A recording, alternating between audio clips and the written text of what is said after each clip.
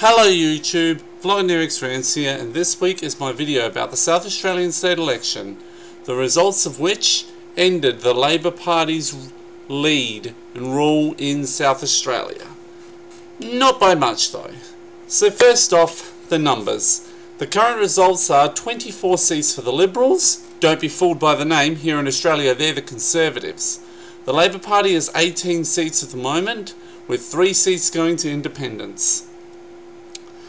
The seats of Adelaide and Mawson are still in doubt, with both the electorates of Adelaide in the city and Mawson in the south on a knife edge. Turnout was 66.2%, down over 20% on the last election. So Stephen Marshall is now the Premier of South Australia. First of the funny stories. Although there was a lot of talk about Nick Xenophon, that's how you pronounce his name, unnamed Matt, holding the balance of power, his SA Best party didn't even get one seat in the lower house, including him, as he lost pretty badly in the seat of Hartley in the northeast of Adelaide.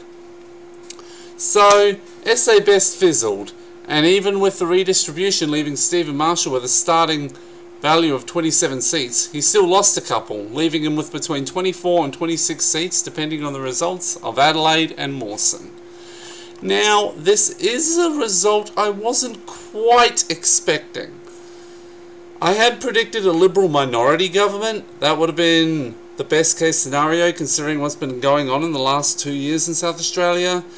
The fact was that Labor was probably going to lose power, so I hoped that the Liberal Party would only have minority, that they'd have like 23 seats, so that their power would be checked a bit. One funny thing, less than a week out from the election, all three major parties, the Labor Party, the Liberal Party and the SA Best Party, all received reprimands from the Australian Electoral Commission over various advertising issues. The Liberal Party were reprimanded over their claims about reducing energy prices by $300 a year. That's what their policies were apparently going to do. This was revealed to be misleading, as most of those savings would come about whether the Liberal policies were in place or not. Nick Xenophon was hit with an Electoral Commission ruling over the size of his promotional material on his car. And finally, the Labor Party was also called out for misleading advertising over a claim by Alex Gallacher one of the Labor senators, that the Liberal Party had a secret plan to cut $557 million from South Australia's GST share. Another funny thing, the Australian Conservatives Party, a sort of far-right party that was founded by a former Liberal who thought that the party he was in wasn't far-right enough, lost about half the vote that the predecessor far-right party, Family First, had gotten in 2014 falling from 6.5% when it was Family First in 2014 to 3.1% under the Australian Conservatives in 2018. Another thing that was funny that happened when my mum and I were headed for the polling booths. My mum asked whether she should vote for the far left party, the Animal Justice Party. And the instant that I revealed that they're anti-pets, she said they can take a long walk off a short pier. And then, when my dad went to the polling booth, when the person who was handing out the how to vote cards for the Australian Conservatives went to walk up to him, my dad kind of cringed away like, ugh! Which I think could have probably hurt the person handing them out. Ah well. The SA Best factor. How much did it affect the result? Well, Nick Xenophon's team got about 13.7% of the vote, but didn't get a single seat. They took a fair few from the Liberal Party, and took less from Labor and the Greens, a lot of the votes. So they could have influenced it and stopped Marshall from getting even more seats.